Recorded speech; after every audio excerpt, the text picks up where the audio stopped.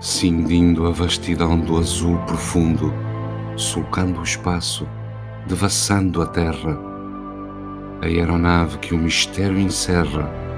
vai pelo espaço acompanhando o mundo.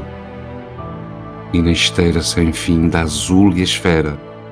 ela embalada na amplidão dos ares, fitando o abismo sepulcral dos mares, vencendo o azul que ante si se erguera, voa, se leva em busca do infinito, é como um despertar de estranho mito, auroreando a humana consciência,